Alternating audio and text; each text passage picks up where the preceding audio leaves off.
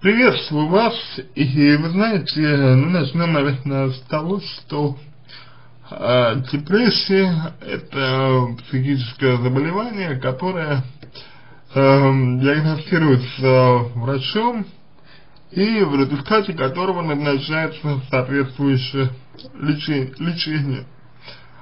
Соответственно, э, если у вас э, такого диагноза нет, то нельзя говорить о том, что у вас есть депрессия.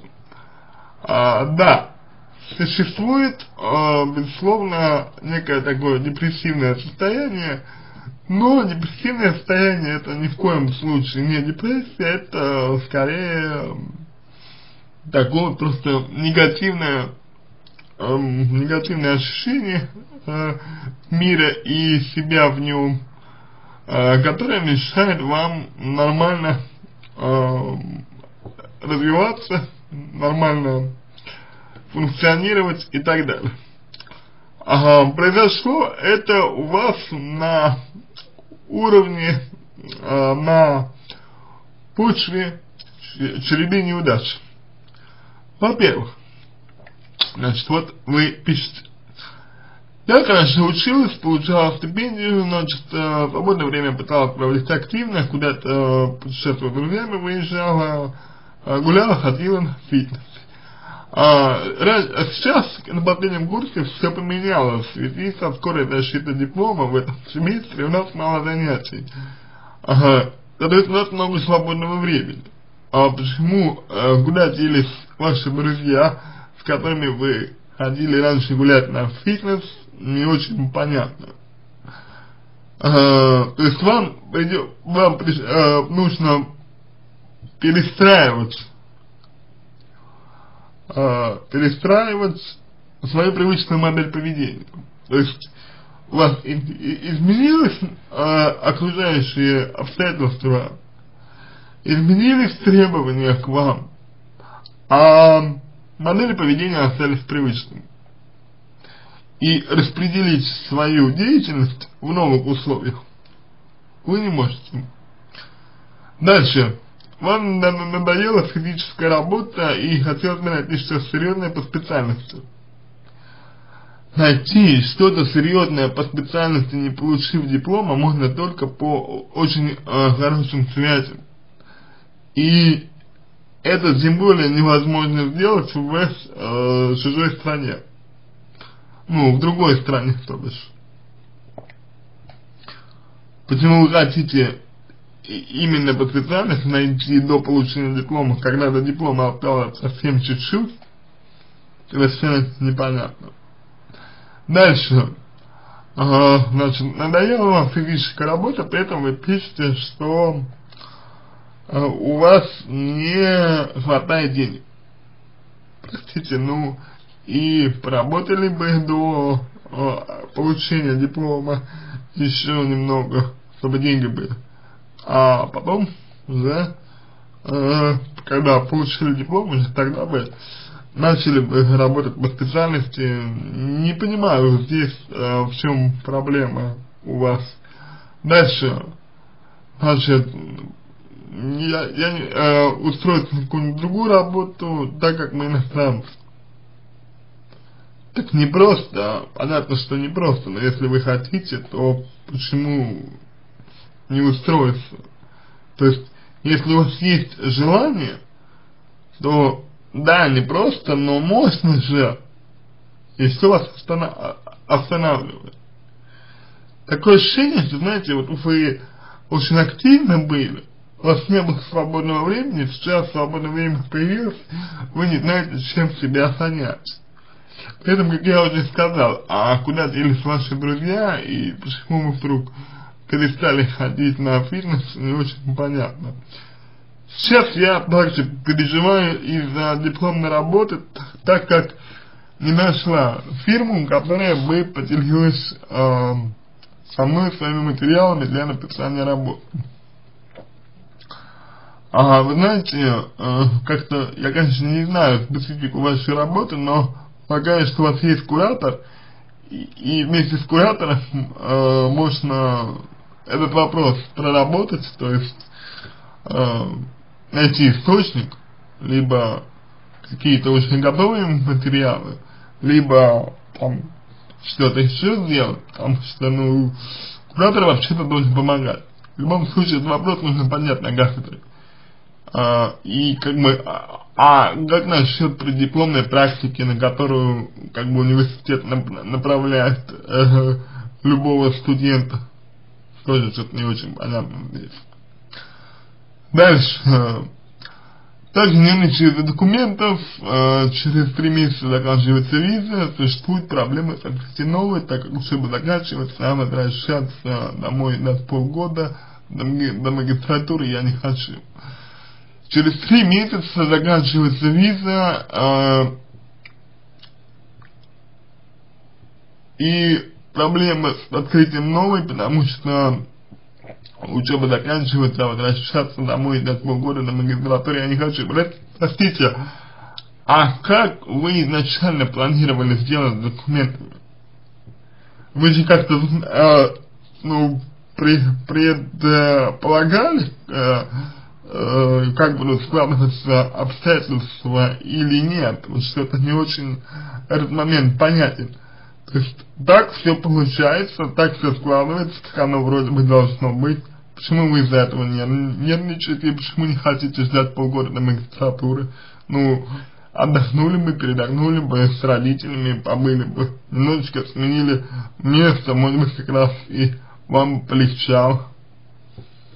Тоже не очень понятно э, этот момент, если честно. А на личном у меня не складывается, хотя претенденты были, но что-то в каждом меня не устраивало. То ли у меня завышенная планка, то ли я просто боюсь э, близости. Твердых отношений у меня еще не было.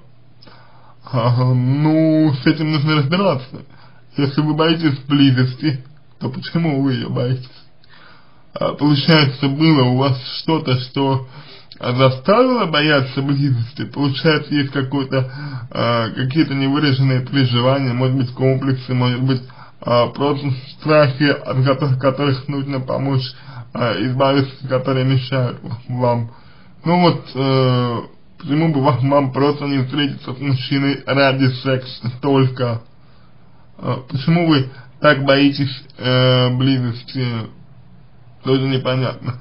Был ли у вас интимный опыт, если да, то какой, а, как у вас э, он происходил, а, были ли у вас отношения, какие у вас были первые отношения, как вы а, пережили свою первую влюбленность, как вы воспринимаете а, мужчин, а, понимаете ли вы, что вы можете дать мужчине, что вы можете дать ему как женщина, если у вас а, в этом а, понимание. Далее, как бы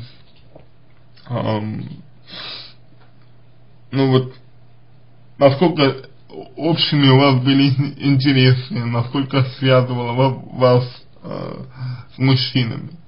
Если у вас запущенная планка, то как она проявляется? Э, какие у вас критерии отбора мужчин? Если у вас проработана четко, четкая личная модель поведения, то есть все вот эти вопросы, связанные с личными отношениями, их нужно разобрать. Сейчас меня действительно беспокоит, у моих подруг все сложилось. А, какая разница, что сложилось у ваших подруг? У них своя жизнь, у вас своя.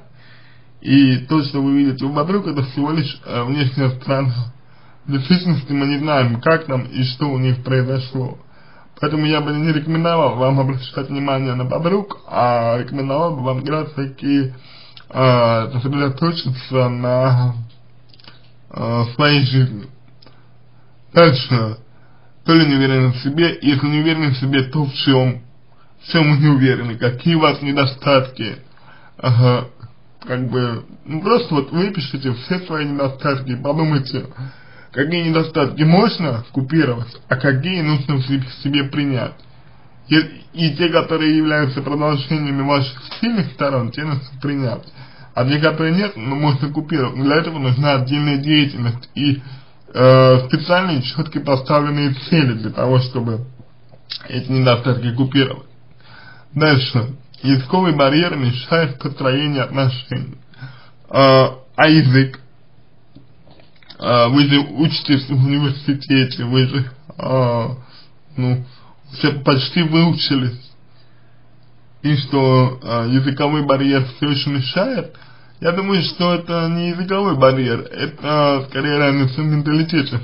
То есть вы, видите ли, я был в Польше, у поляков немножко другой менталитет, нежели чем у русских.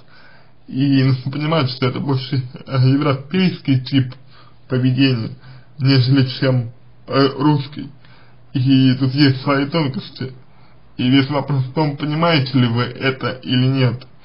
И вот, на, и вот, э, на, и вот э, на этом всем фоне из-за свободного времени, нехватки эмоций, впечатлений, э, вы начинаете заедать это все какой-то гадостью. Ну, понятно, когда человек есть, у него появляется чувство защищенности, и он э, получает эндорфины. Ну так а почему вам не организовать э, свое время так, чтобы вы получали эмоции и впечатления? Почему вы боитесь быть одинокой? Э, что вы видите страшного в одиночестве?